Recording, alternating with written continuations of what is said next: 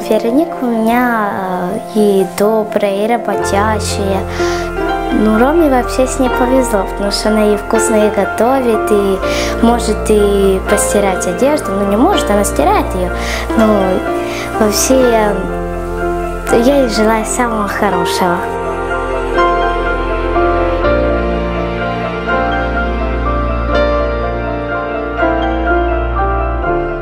Сегодня совершилось прекрасное событие.